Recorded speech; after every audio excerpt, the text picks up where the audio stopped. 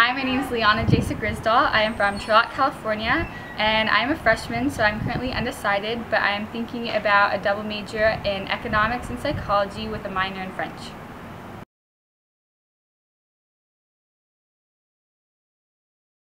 I probably started the college search in about seventh grade and I would look probably every weekend for about five hours um, trying to find what college was best for me.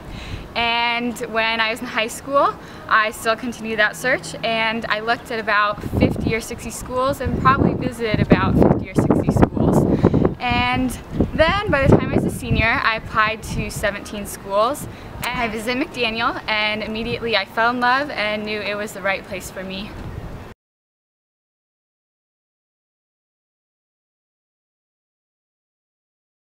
Because McDaniel is able to offer such a close personal education, I definitely feel that I'm able to do so many different um, activities such as swimming, cello, and the academic setting.